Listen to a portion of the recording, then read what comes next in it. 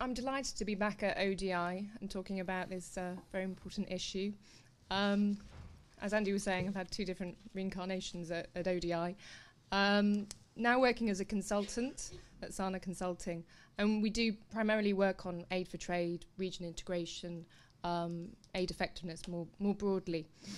Um, Traidcraft, and we have a colleague, two colleagues from Traidcraft at the back of the room here, commissioned us to do a study looking specifically at how the EC and DFID um, do their M&E of aid for trade.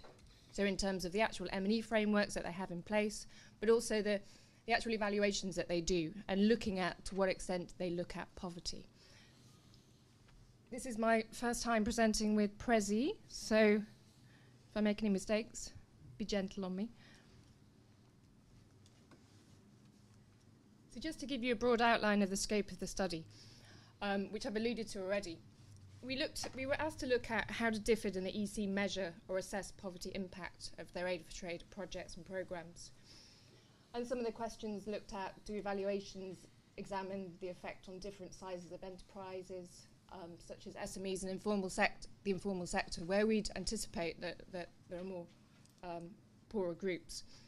Um, also looking at issues around evaluations, um, whether or not they differentiate between the impacts on different groups, men and women, um, and also looking at do the evaluations examine the impact on winners and losers, um, because we might have an aid trade project that may have net benefits, but there may well be particular groups of individuals who actually lose in the process. So we were looking to what extent do DFID and the EC actually ask these questions when they do when they develop their M&E frameworks, when they do their evaluations.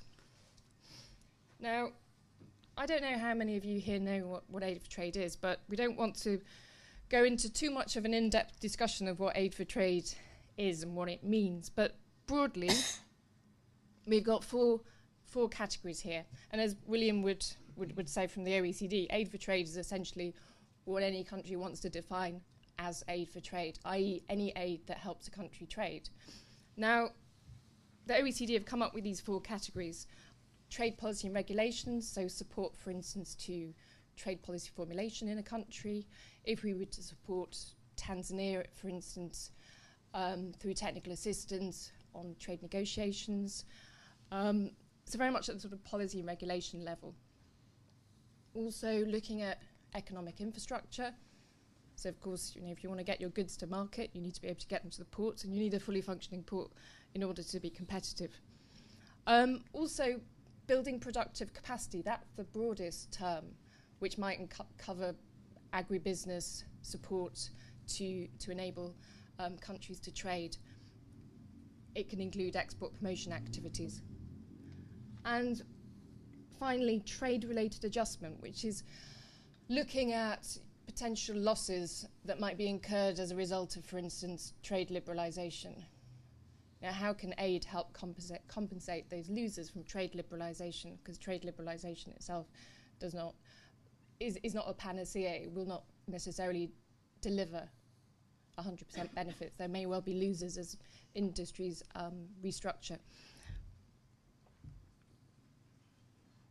So just briefly talking about the methodology, this was a relatively small study that we did for Traidcraft. Um, we did a literature review. We looked at the policies and the strategies that DFID and the Commission have on aid for trade. Um, we conducted some interviews with DFID and the EC and some others, including um, the OECD. And we did a data analysis of the information that we could find from DFID and the EC in terms of their monitoring reports and their evaluations. And I'll discuss that in a bit more detail later. But just to highlight, one of the things is we found quite a lot of monitoring reports for DFID. We found very few for the Commission because these are not publicly available. And on evaluations, again, we found evaluations for DFID and the European Commission, but again, they, there were not many of those available, which we were surprised by.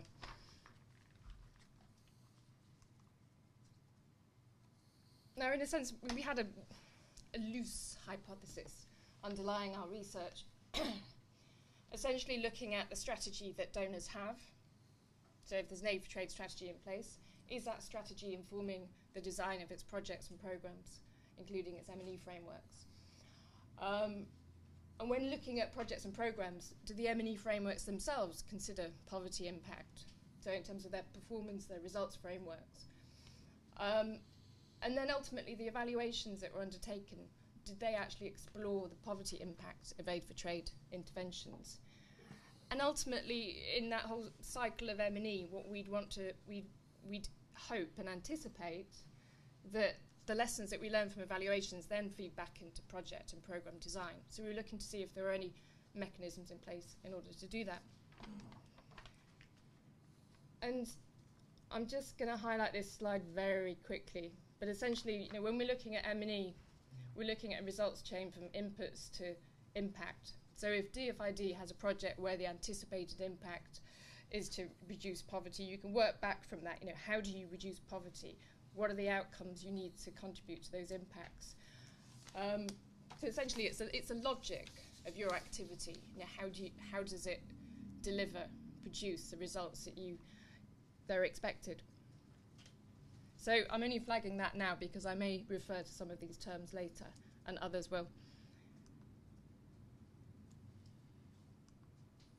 So I think I think a lot of us know that there is a increased focus on results, um, particularly over recent years. A lot of it down to you know the, the increased scrutiny that donors are under um, by their general population to demonstrate results from their aid and to have this well articulated.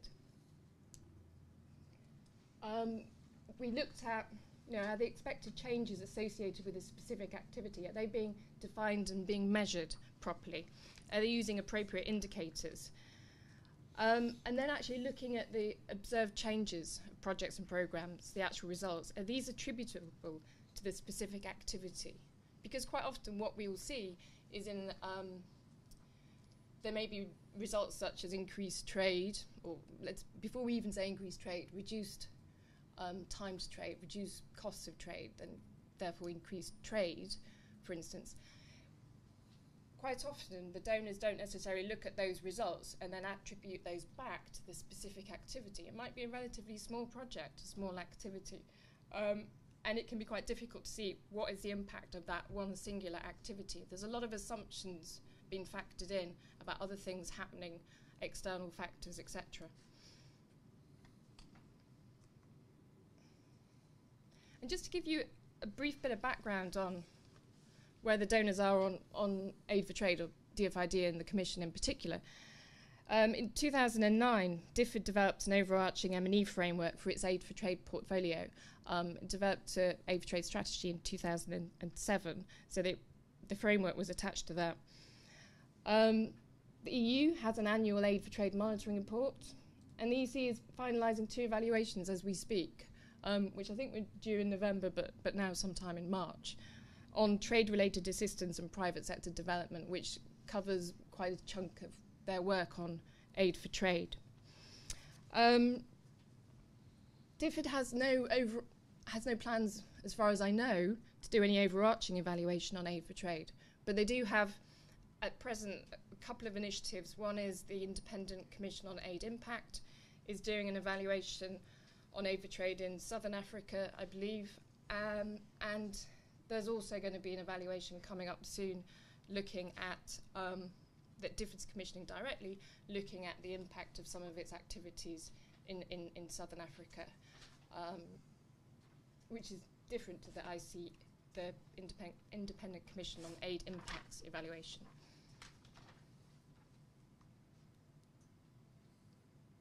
Uh, just to explain how the DFID, how DFID and the EC do their monitoring. Um, both DFID and the EC monitor their projects and programs annually and on completion. However, one of the, one of the issues that, that we were raising is that insufficient time has actually elapsed to look at things like poverty impact because a standard project or program might be three years long. Obviously, within a year, it's hard to determine the potential impact. Within three years, it's also hard to determine the potential impact on poverty. Um, and in our experience and from our investigations, we couldn't find any examples where a donor, not to say that, that, that they, are not undertaken, but where a donor, particularly in the EC, had looked at the impact of their activity many years after a project had been completed. So I've summarised some of the findings which um, I've already alluded to. First, and as I said before, quite surprising for us that there was um, you know, very little publicly available information on whether aid for trade projects and programs are impacting on the poor. In fact, even the evidence on the impact on, on trade in many cases is limited. And poverty reduction, I think, in a, in a lot of donors, donor projects and programs is seen as a sort of lofty top um, high level goal, um, which in many cases is considered too difficult to assess that linkage between the activity and the poverty impact. So attribution is, is, is not assessed. According to the last OECD WTO Global Review, um, there's another one coming up which William will talk about later. Attributing trade and poverty impacts to projects and programs is one of the major challenges for donors.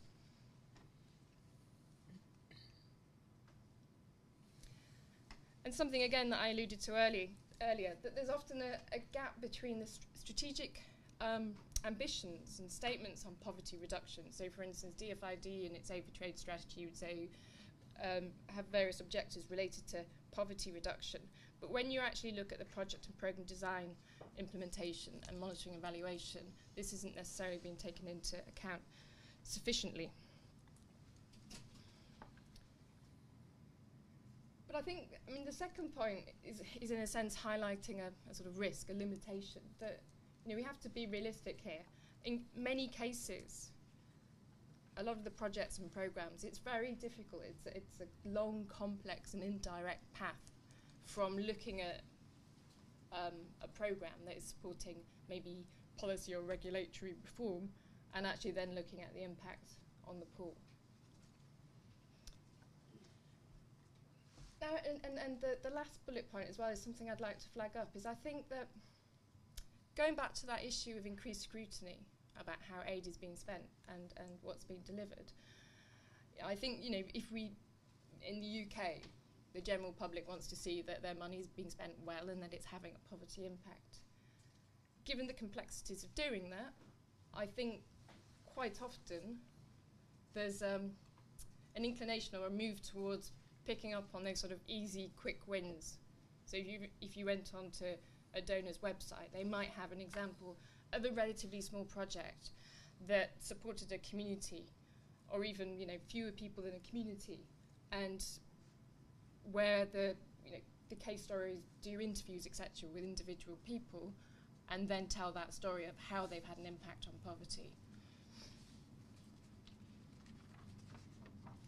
and in a sense, you know, those examples don't cover a large percentage of, the aid for trade support that's been provided.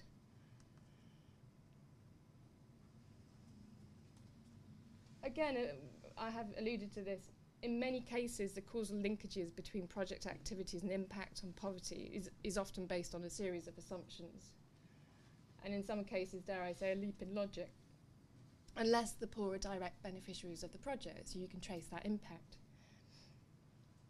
Um, there was a study again done by the Independent Commission on Aid Impact, looking at um, evaluation practices of DFID.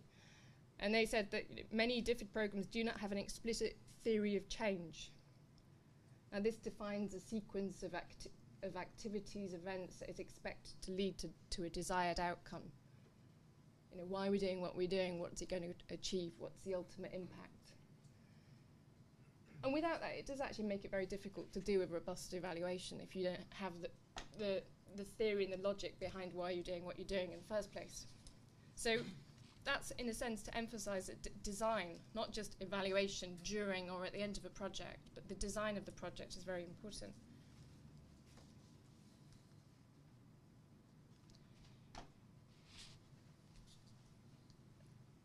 And I think it's important to flag up the issues here. As we've said, DFID has a stronger results focus now. Um, but there are some concerns that you know, given their results focus, that there may be a tension between the long-term processes of change, those things that you know, alluding to that, that are difficult to, to explain, difficult to unpack, etc., um, versus the needs of needs and desires of donors to demonstrate quick results. So maybe a tendency to, to in a sense, cherry pick projects and programs where the result is more obvious and more obviously communicated.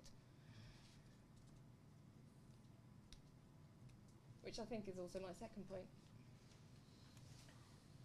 And where the linkages between activities and the impact on the poor or poverty are direct, measurement will be naturally easier. However, the impact of over trade on the poor or poverty in many cases is not direct.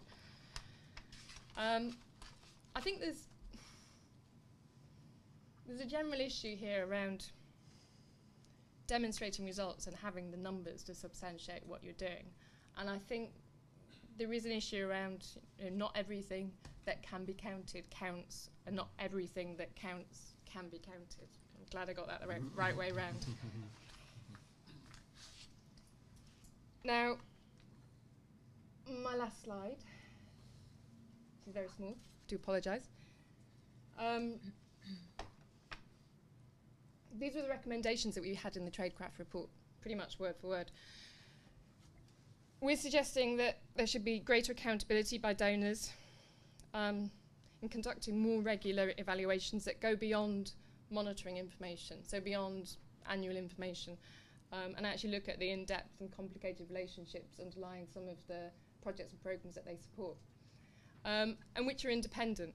And uh, DFID, for instance, is make, making moves in this regard for instance, with the Independent Commission on, on Aid Impact. Um, and as I said, the Commission are currently finalising an evaluation on trade-related assistance and private sector development. Um, but that's probably, I think their last one was in 2004, their last comprehensive evaluation. We should explore the possibility of conducting impact assessments, ex post and ex ante, to better understand the poverty impacts and trade outcomes, rather than say it's too complicated, should we be looking at this and unpacking it and understanding it better? Um, donors should provide greater transparency of their monitoring information. So, for instance, with our analysis, we could have taken it a lot further had we had a lot more information, but it was very difficult to access that information. Um, Commission is, is struggles more in that regard. Um, DFID have now made a commitment that all of their information goes up on their project database, but in many cases it, it's still not there. You know, being a practitioner myself, having to look up project the project database and trying to source documents, quite often there'll be a project that I know has been ongoing for three years, but it still says no information.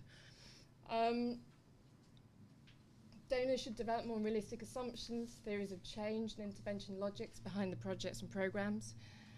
Um, and this will require increased research and analysis linking tho those activities and interventions. And a better understanding of the impact of trade projects and programs on the poor and poverty. Whether to inform direct targeting or ensure the effects are known, positive or negative. Because in better understanding potential poverty impact, you may want to directly target the poor, but there are other interventions that you're doing that they're not necessarily directly targeted at the poor, but we would want to know whether or not there are any potential negative um, effects of an intervention.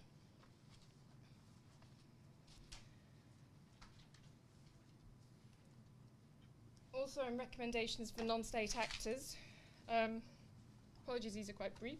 They probably should be longer. Um, but I think non-state actors or NGOs have a role to lobby for greater transparency of information. And I know a lot of that has already been taking place, but I think there's still some way to go on that. You know, if that information becomes more readily available, it's not just simply to hold the donors to account, but we can use that information. We can better understand. It's not necessarily DFID's comparative advantage to go off and do analysis about all of its projects and programs maybe there are others who should be doing this, and if, if they can access that information, the better. Um, undertaking more in-depth research to strengthen the evidence base of the impact of aid for trade on poverty reduction and better inform adv- advocacy efforts on aid for trade. So, you know, the non-state actors should be better informed in those dialogues. Um, and developing a network of key allies, including influencers on aid for trade. I mean, this was specific to, to, to Traidcraft because, you know, obviously you're a more powerful voice as, as a few NGOs as opposed to um, one. And I think that's me done. Thank you very much. Thanks very much, Liz.